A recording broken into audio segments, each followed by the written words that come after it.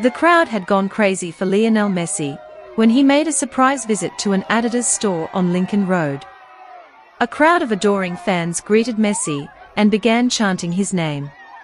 Lionel Messi and his family walked out of the Adidas store on Lincoln Road late Friday afternoon. A lot of people are screaming and cannot believe that Messi is coming to their town. Some fans surrounded the Audi where Messi got in and was taken away. Many fans were very emotional and never thought to see the best player in history, Lionel Messi.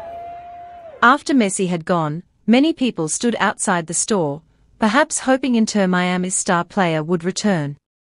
These latecomers said they heard the buzz about Messi being on Lincoln Road. Unfortunately, they were unable to get a glimpse of him.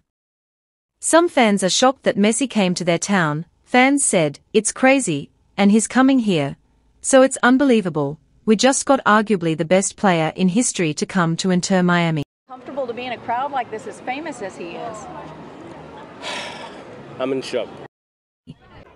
Messi and Inter Miami are certainly in the spotlight this month. But while the 36-year-old player would likely be mobbed by fans in other parts of the world, he has been able to be out and about with his family since he arrived in Inter Miami. But no longer will Lionel Messi be able to walk if things go crazy like this in Inter Miami.